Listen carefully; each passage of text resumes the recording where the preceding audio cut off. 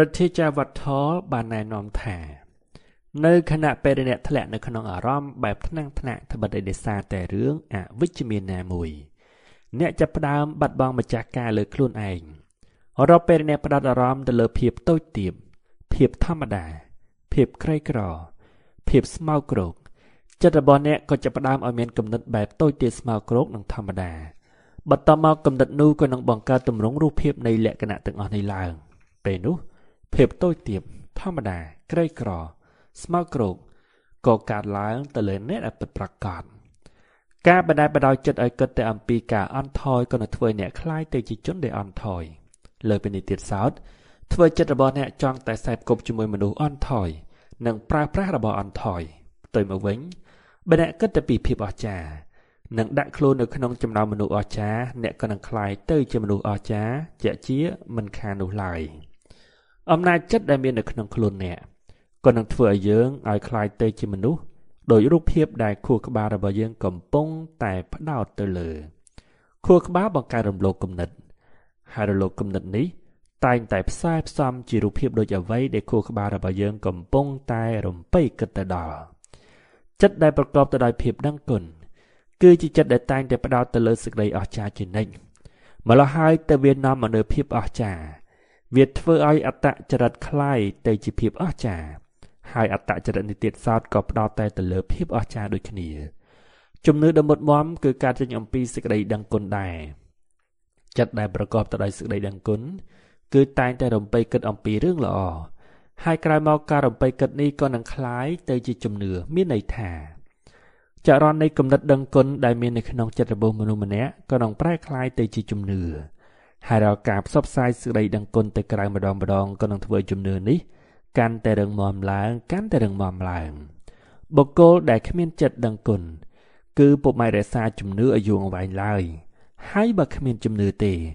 អ្នកក៏មិនអាចคลายទៅជាអ្នកមានតាមរយៈមធ្យោបាយបែបច្នៃប្រឌិតនោះដែរម្ល៉េះហើយអ្នកក៏នឹងឃើញហើយថា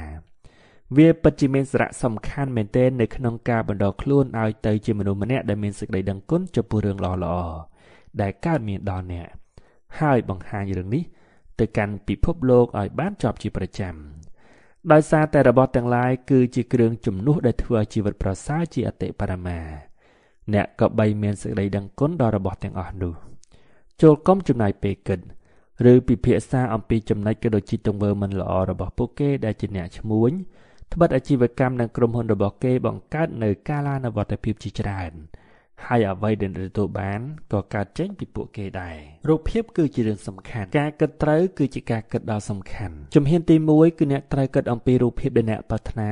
ហើយរូបភាពនោះត្រូវតែច្បាស់លាស់និងគ្រប់ជ្រុងជ្រោយត្បិតអីគំនិតរបស់អ្នកក៏នឹងគ្មានធម៌ពលទេបើអ្នកមិនច្បាស់លាស់ទៅនឹងខ្លួនឯងជាមុននោះអ្នកត្រូវបង្កើតគំនិត និងធ្វើឲ្យគំនិតនៅច្បាស់លាស់ជាមុនមុននឹងអ្នកអនុវត្តវាមនុស្សភាគច្រើនបរាជ័យគឺមិនអាចឆ្លាក់គំនិតរបស់គេឲ្យមានរូបភាពច្បាស់លាស់ទេព្រោះពួកគេមិនដឹងប្រកាសនៅអ្វីដែលខ្លួនត្រូវការកិច្ចការដែលខ្លួនត្រូវកើឬក៏ប្រភេទមនុស្សដែលខ្លួនចង់វិវត្តទៅជាជាដើមការពោលថាខ្ញុំចង់បានទ្រព្យសម្បត្តិច្រើន គឺវានៅមិនតាន់ពេញអត្តន័យទេ ហើយអ្វីដែលគួរឲ្យព្យាបាលគឺថាមនុស្សភាគច្រើនតែងតែពោលពាក្យបែបនេះ ការដែលអ្នកនិយាយថាខ្ញុំប្រាថ្នាចង់ធ្វើដំណើរទៅកាន់ទីឆ្ងាយចង់ទៅកន្លែងនេះឬក៏កន្លែងនោះ ប្រាថ្នាចង់រស់ស្រួលក៏នៅមិនទាន់គ្រប់គ្រាន់ដែរហើយជនទាំងឡាយភាកច្រើនតែងតែប្រាថ្នាបែបនេះឧបមាឧបមាថាប្រសិនបើអ្នកត្រូវផ្ញើសារមួយទៅកាន់លោកធាតុអាកាសទៅកាន់មិត្តភ័ក្តិអ្នកមិនមែនផ្ញើអក្សរម្ដងមួយមួយជាបន្តបន្ទាប់ហើយទុកឲ្យគាត់ទម្រាបអក្សរនោះដោយខ្លួនឯងទេ ហើយអ្នកក៏ពុំមែនចេះតែយកពាក្យពីក្នុងវចនានុក្រមមកដាក់បន្តកន្ទុយគ្នាដោយមិនគិតអំពីវេយ្យាករណ៍ដែរមែនទេអ្នកត្រូវតែផ្ញើសារជាប្រយោគប្រកបទៅដោយពាក្យខ្លឹមខ្លីដែលឲ្យបានត្រឹមត្រូវទៅតាមលំដាប់លំដោយដែរហើយប្រយោគទៀតសោតក៏ត្រូវតែមានន័យយ៉ាងពេញលេញម្ល៉េះហើយនៅពេលអ្នកចង់ឆ្លាក់គំនិតអំពីអ្វីមួយដែលអ្នកចង់បានចូលចាំថា វាត្រូវតែជាគំនិតដែលមានក្បាលដែលមានកន្ទុយច្បាស់លាស់អ្នកត្រូវតែស្គាល់របស់នោះ ហើយអ្នកត្រូវតែស្គាល់ច្បាស់ជាទីបំផុតអ្នកនឹងមិនអាចคลายទេជាអ្នកមានឬក៏មិនអាចធ្វើគំនិតនោះលុះនៅក្នុងសកម្មភាពបានទេបើសិនជាចំណងរបស់មួយនោះគឺជាចំណងដែលគ្មានសន្តិភាពធ្នាប់ វិញអន្លាយនឹងមិនច្បាស់លាស់នោះឯងការរៀបចំចំណងរបស់ខ្លួនឲ្យបានត្រឹមត្រូវច្បាស់លាស់ដូចជាបរិសម្នាក់ដែលស្រមៃអំពីផ្ទះដែលគាត់ចង់បាន ចូលស្រមៃតែរបស់ណាដែលខ្លួនត្រូវការទៅគឺបានហើយ បន្តមកបង្កើតរូបភាពរបស់នោះនៅក្នុងខួរក្បាលនិងអារម្មណ៍ថាអ្នកកំពុងតែទទួលបានរបស់នោះនៅក្នុងដៃអ្នកត្រូវតែរក្សារូបភាពនេះឲ្យជាប់នៅក្នុងខួរក្បាលជានិច្ចឲ្យដូចជាម្ចាស់សំពៅដែលមើលឃើញផែមុននឹងសំពៅទៅដល់ទៅទៀតអ្នកត្រូវតែផ្ដោតអារម្មណ៍ទៅលើវាគ្រប់ពេលវេលា អ្នកមិនត្រូវភ្លេចអំពីវាឡើយគឺអ្នកត្រូវធ្វើដូចគ្នាដែរទៅនឹងការដើរសំពៅដែលបញ្ជាសំពៅទៅកាន់ទិសដៅនៃត្រីវិស័យអ្នកពុំច្បាច់វើខាត់ឲ្យអារម្មណ៍មូលទេ ឬក៏ពុំច្បាច់និយាយយកពេលវេលាខ្លះដើម្បីបួងសួងឬក៏តន្ទិញអរិតមាត់ឬក៏ពុំច្បាច់ស្មឹងស្មាតហើយក៏ពុំច្បាច់ធ្វើការបូជាយ៉ាងអ្វីដែរទាំងអស់នេះពុំមែនជាការខុសឆ្គងអ្វីឡើយប៉ុន្តែផ្នែកសំខាន់ដែលអ្នកត្រូវធ្វើគឺត្រូវស្គាល់របស់ខ្លួនដែលអ្នកចង់បាន ហើយត្រូវតែចង់បានវាឲ្យខ្លាំងក្លាជាទីបំផុតដែរខ្លាំងរហូតដល់ចិត្តរបស់អ្នកងប់ងល់ទៅនឹងវានោះឯង ចូលចំណាយពេលទំនេរអ្នកមានដើម្បីសម័យទៅដល់រូបភាពនោះប៉ុន្តែអ្នកពុំចាំបាច់ខំប្រឹងប្រែងប្រមូលអារម្មណ៍ទាំងអស់មកផ្ដោតទៅលើវាឡើយត្បិតអីអារម្មណ៍ធម្មតារបស់អ្នកងាយនឹកមួយម៉ៃទៅដល់អ្វីដែលយើងត្រូវការហើយមានតែរបស់ដែលយើងមិនត្រូវការទេដែលយើងត្រូវប្រឹងប្រែងប្រមូលអារម្មណ៍និងផ្ដោតទៅលើវាបើអ្នកត្រូវចង់ខ្លាយទៅជាអ្នកមានដ៏ពិតប្រាកដមែនចំណងនេះក៏នឹងផ្ដល់កម្លាំងច្រើនគ្រប់គ្រាន់ដើម្បីឲ្យអ្នកអាចតម្រង់ចិត្តឆ្ពោះទៅកាន់វត្ថុនោះ។ ប្រៀបបានទៅនឹងស្នូលមេដៃរបស់ផែនដី ដែលទប់ទនិចរបស់ត្រីវិស័យឲ្យចង្អុលទៅទិសជើងចនិចក៏យ៉ាងដូច្នោះដែរពេលនោះសេចក្តីចង់បានដែលពិតប្រាកដនឹងខ្លាំងក្លាក៏នឹងធ្វើឲ្យអ្នកមានកម្លាំងចិត្តអនុវត្តទៅតាមការណែនាំដ៏ជោគជ័យលកឹកណាអ្នកធ្វើទៅតាមរូបភាពកាន់តែច្បាស់លាស់ខ្លាំងប៉ុណ្ណា អ្នកនឹងងប់វាកាន់តែខ្លាំងដែរបាច់មើលវាឃើញកាន់តែពិស្ដារច្បាស់ដោយទៅមើលឃើញនឹងភ្នែក ចំណងរបស់អ្នកក៏នឹងកាន់តែពុះកេញជ្រោលហើយកាលបើចំណងកាន់តែពុះកេញជ្រោលខួរក្បាលរបស់អ្នកអាចផ្ដោតនឹងរូបភាពនោះកាន់តែងាយស្រួលនិងកាន់តែយូរអង្វែងបើទោះបីជារឿងនេះនៅតែមានរឿងផ្សេងទៀតដែលចាំបាច់រក្សារូបភាពបានច្បាស់លាស់នៅក្នុងខួរក្បាលទៅទៀតបើសិនបើអ្នកគ្រាន់តែមើលឃើញរូបភាពច្បាស់លាស់នៅក្នុងខួរក្បាលតែម្យ៉ាងអ្នកគ្រាន់តែជាអ្នកពូកែស្រមៃម្នាក់ប៉ុណ្ណោះហើយអ្នកពូកែស្រមៃភាគច្រើនគឺមានកម្លាំងចិត្តតិចតួច ឬគ្មានតតែសោះដើម្បីសម្រេចបំណងដែលខ្លួនត្រូវការនៅបន្ទាប់ពីមានក្តីសុបិនច្បាស់លាស់ហើយអ្នកត្រូវតែមានរបស់មួយទៀតដែលចាំបាច់នោះគឺអ្នកត្រូវតែមានបំណងធ្វើវាឲ្យសម្រេចធ្វើវាឲ្យคล้ายទៅជាការពិតតតែបានហើយរបស់មួយដែលធ្វើឲ្យគោលបំណងនោះថិតថេរបានយូរគឺជំនឿគឺការជឿជាក់របស់នោះប្រកបនឹងคล้ายទៅជារបស់អ្នកជំនឿនោះគឺកំពុងតែស្ថិតនៅក្នុងដៃរបស់អ្នក ជំនឿថាអ្នកកំពុងតែប្រើប្រាស់វាឧទាហរណ៍អ្នកត្រូវតែសរមៃរហូតតតែឃើញខ្លួនឯងកំពុងតែរស់នៅក្នុងផ្ទះថ្មីដែលខ្លួនប្រាថ្នាអ្នកស្រមៃឃើញខ្លួនឯងកំពុងតែរីករាយទៅនឹងរបស់ដែលអ្នកត្រូវការដូចជានៅក្នុងសាសនាគ្រិស្តគេមានពាក្យមួយថា នៅពេលដែលអ្នកបួងសួងចង់បានរបស់អ្វីមួយចូលមានជំនឿថាអ្នកកែកំពុងតែទទួលបានវា ហើយជឿថា អ្នកសមនឹងទទួលបានវាដែរ ចូលគិតអំពីអ្វីមួយនឹងមានជំនឿថាហាក់បីដូចជាមានវានៅក្នុងដៃហាក់បីដូចជារបស់នោះកំពុងតែនៅចិត្តខ្លួនអ្នកចូលសម័យថាហាក់បីដូចជាអ្នកកំពុងតែប្រើប្រាស់វាដ៏ពិតប្រាកដចូលផ្ចង់អារម្មណ៍ទៅលើរូបភាពនៅក្នុងខួរក្បាលរហូតតតែអ្នកឃើញវាច្បាស់នៅគ្រប់ទីកន្លែងបន្តមកអ្នកត្រូវតែបង្កើតជំនឿចិត្តថាអ្នកបានទទួលរបស់នោះ ចូលមើលមកខ្លួនឯងថាអ្នកគឺជាម្ចាស់របស់វា គឺត្រូវមើលទៅដោយជំនឿដ៏មុតមមថាវាគឺជារបស់អ្នកដ៏ពិតមែនចូលរក្សាការស្រមៃនេះឲ្យចប់គឺមិនត្រូវឲ្យជំនឿនេះបាត់បង់សូម្បីតែមួយវិនាទីនោះឡើយហើយក៏ចូលចាំទ្រឹស្ដីដែលលើកមកនិយាយនៅក្នុងរឿងដែលខ្ញុំនិយាយពីមុនអារម្មណ៍ដឹងគុណគឺវាមានអានុភាពណាស់បុគ្គលដែលអាចសម្ដែងចេញសេចក្តីដឹងគុណចំពោះរបស់ដែលខ្លួនទទួលបានបើទោះបីជាស្ថិតនៅក្នុងការស្រមាស្រមៃនៅឡើយ ក៏អាចចាត់ទុកថាជាមនុស្សដែលមានជំនឿដ៏ពិតប្រាកដជំនឿធ្វើឲ្យគេคล้ายទៅជាជនស្ដុកស្ដំម្នាក់ព្រោះវាគឺជាកត្តាជំរុញចិត្តដែលគេអាចបង្កើតរបស់នោះឡើងអ្នក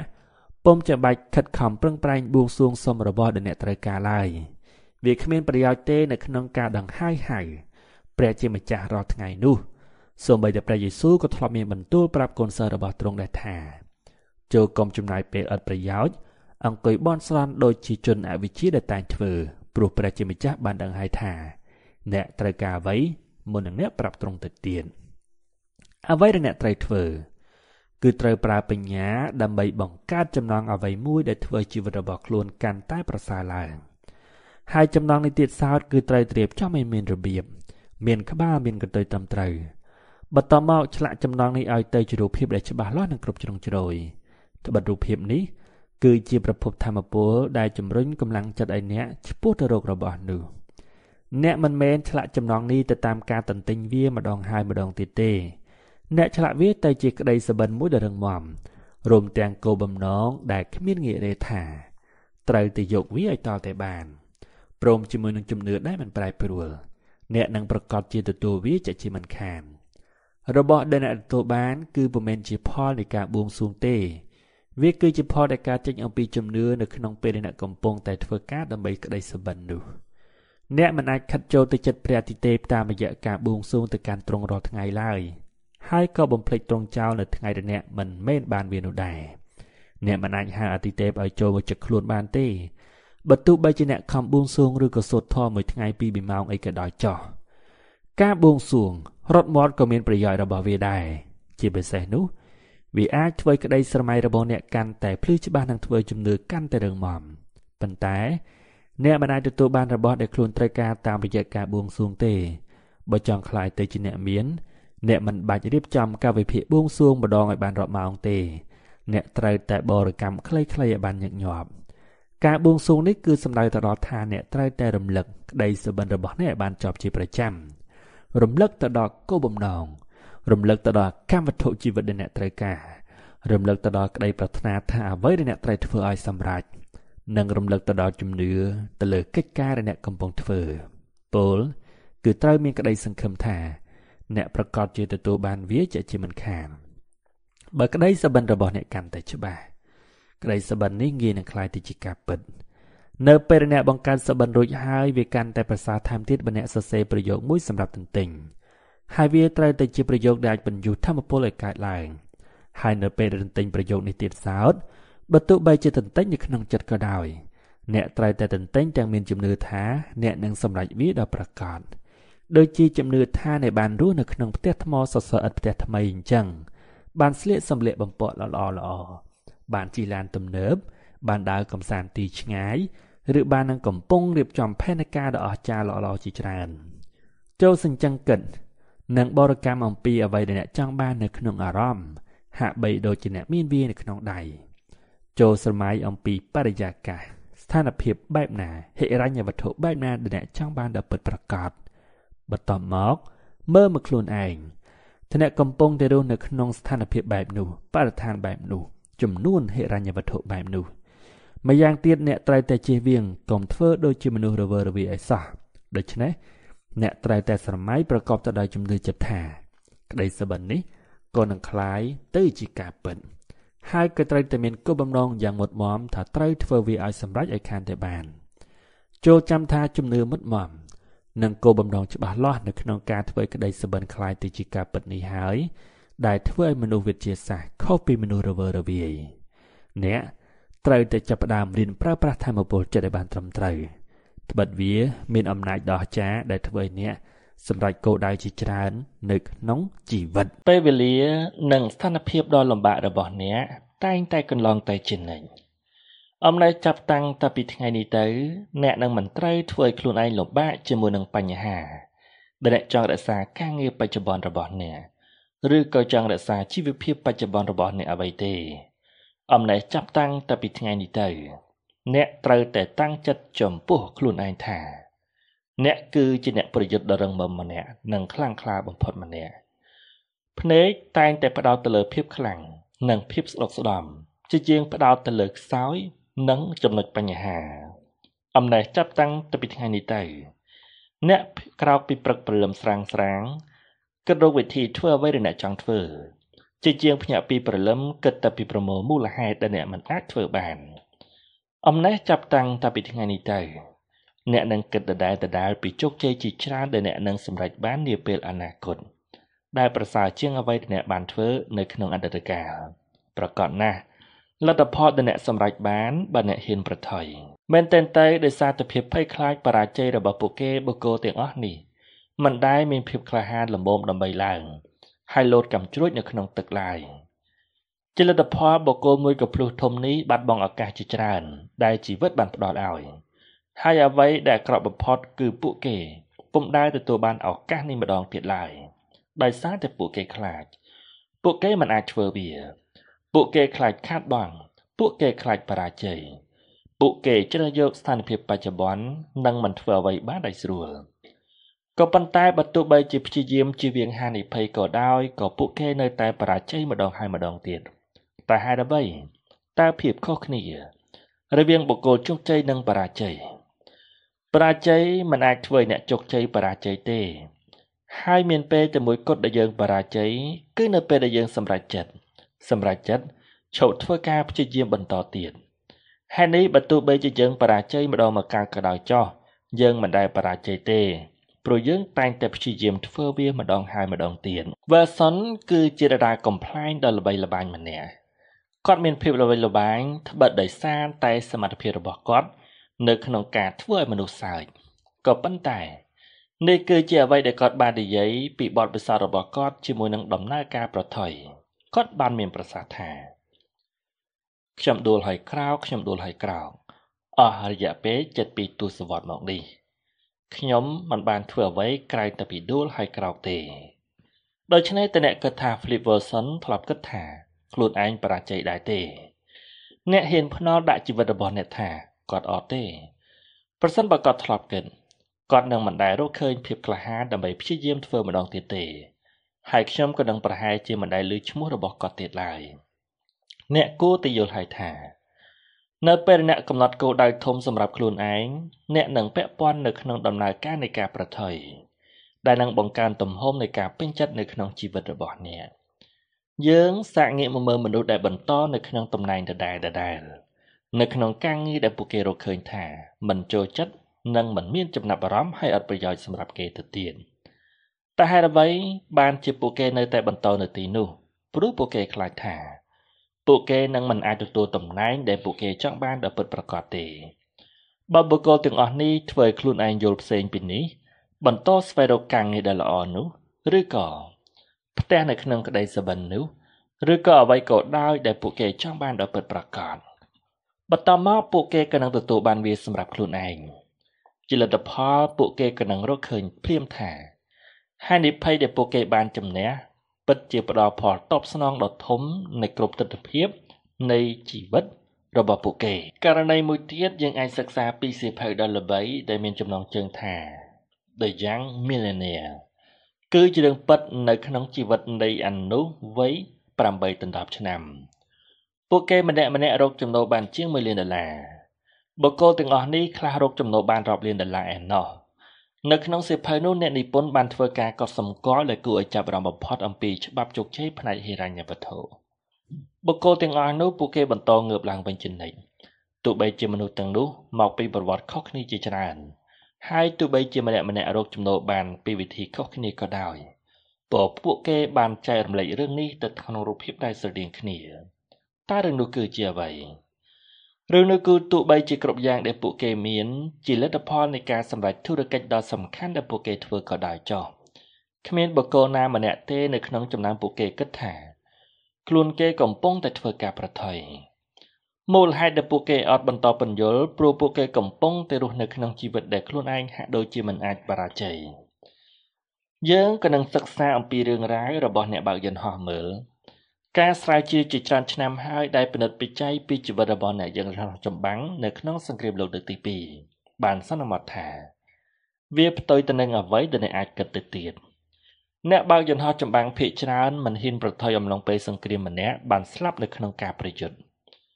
ផ្ទុយទៅវិញការសិក្សាក៏បានរកឃើញផងដែរថាអ្នកដែលមិនខ្លាចប្រថុយមិនត្រឹមតែបានរួចផុតពីជីវិតទេពួកគេថែមទាំងបានងាយជីវរៈបរោះសង្គ្រាមថែមទៀតផង។នៅពេលដែលយើងមានឱកាសដើម្បីសង្កេតអំពីសកម្មភាពរបស់មនុស្សនៅគ្រប់ទិដ្ឋភាពនៃជីវិតវាបានคล้ายទៅជាផុសតាងក៏ដូចជាទឹកតាងដោយភ្លាមថា ការធ្វើវាទៅតាមវិធីសវត្ថភាពនៅក្នុងជីវិតក៏នឹងស្លាប់ហើយស្លាប់នៅក្មេងទៀតផង មកដល់ពេលនេះអ្នកប្រហែលជានិយាយមកកាន់ខ្លួនឯងថា អ្វីទាំងអស់នេះហាក់ដូចជាសមហេតុផលណាស់ប៉ុន្តែហេតុអ្វីបានជាវាទៅជាយ៉ាងដូចនេះហេតុអ្វីបានជាយើងភាកច្រើនបានកសាងជីវិតខ្លួនឯងនៅក្នុងលក្ខខណ្ឌធ្វើឲ្យខ្លួនឯងលំបាកបែបនេះដោយសារតែយើងមិនអាចឬក៏មិនហ៊ានធ្វើការប្រថុយមែនបើយើងព្យាយាមរងនឹកពីការកសាងជីវិតរបស់យើងនៅក្នុងរយៈពេលជាច្រើនឆ្នាំមកយើងក៏នឹងដឹងភ្លាមថា ភាពស្ទាក់ស្ទើរនៅក្នុងការប្រថុយនេះអាក្រក់ប៉ុណ្ណា ហើយមានប្រភពមកពីណា កាលពីក្មេងជាពិសេសកាលពីអ្នកនៅជាទីរក់ឪពុកម្ដាយរបស់អ្នកចង់ឃើញអ្នកជោគជ័យណាស់ជាលទ្ធផលនៃការចង់នេះពួកគេខ្លាចថា អ្នកធ្វើឲ្យពួកគេខកបំណងមែនទែនទៅពួកគេស្រឡាញ់អ្នកណាស់ជាអកុសលវាបានជំរុញឲ្យពួកគេព្យាយាម បង្កើតទៅជារនាំងខៀខាំងអ្នក ពីគ្រប់គ្រោះថ្នាក់ដែលអាចកើតឡើងនៅក្នុងជីវិតអ្នកទៅវិញជាទូយ៉ាងនៅពេលអ្នកចាប់ផ្ដើមដើរដំបូងពួកគេកាន់អ្នកហើយនៅពេលដែលពួកគេឃើញអ្នកចង់ដើរដួលភ្លាមពួកគេក៏ប្រញាប់ទៅចាប់អ្នកដូច្នេះអ្នកនឹងមិនដួលនឹងធ្វើខ្លួនឯងឈឺទេ ទន្ទឹមនឹងនេះនៅពេលអ្នកធ្វើអ្វីដែលមានហានិភ័យភ្លាម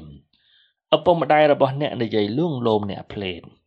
ពួកគេប្រហែលជាព្យាយាមលួងលោមអ្នកដោយនិយាយថា កូនគឺជាកូនល្អហើយអ្នកដតីមិនល្អដូចកូនទេក្មេងដតីជាមនុស្សអាក្រក់បន្តមកពួកគេប្រហែលជានិយាយអ្វីមួយដូចជានាពេលអនាគតកូនត្រូវតែប្រុងប្រយ័ត្ននិងព្យាយាមនៅឲ្យឆ្ងាយពីក្មេងៗដូចនោះនៅក្នុងអរិយាប័ត្រដូចនេះអ្នកប្រហែលជាបានរៀបចំកម្មវិធីបន្តិចម្ដងបន្តិចម្ដង នៅក្នុងគេហៅថាអេក្រង់នៃផ្លូវចិត្តរបស់ពួកគេហេតុនេះអ្នកដឹងថា គ្មាននរណាម្នាក់នៅក្នុងចំណោមយើងបានកើតមកជាមួយនឹងភាពភ័យខ្លាចនៃការប្រថុយទេដោយដែលខ្ញុំបានបើកបង្ហាញពីខាងដើមប្រមាណឧទាហរណ៍នេះក៏ដូចជាការភ័យខ្លាចជាមួយនឹងការប្រថុយអ្វីដែលយើងរៀនបន្ទាប់ពីយើងបានចូលនៅក្នុងពិភពរបស់យើងប៉ុណ្ណោះក៏ប៉ុន្តែមុននឹងអ្នកជ្រើសយកផ្លូវនៃការប្រថុយនេះអ្នកគួរតែចាំថា មនុស្សដែលហ៊ានប្រថុយមិនមែនជាមនុស្សដែលគ្មានទំនួលខុសត្រូវទេ បើអ្នកគិតថាវាធ្វើឲ្យអ្នកចិត្តដល់អ្នកក៏នឹងថាគំនិតទាំងពីរនេះខុសគ្នាស្រឡះអ្នកដែលហ៊ានប្រថុយមានន័យថា ធ្វើសកម្មភាពយ៉ាងក្លាហាន ហើយការធ្វើសកម្មភាពយ៉ាងក្លាហាន គឺខុសពីការធ្វើសកម្មភាពយ៉ាងល្ងង់ខ្លៅនោះឯងហើយខ្ញុំចង់ឲ្យអ្នកចងចាំថា ការប្រថុយនិងការគ្មានទំនួលខុសត្រូវគឺជារឿងដែលឡែកពីគ្នា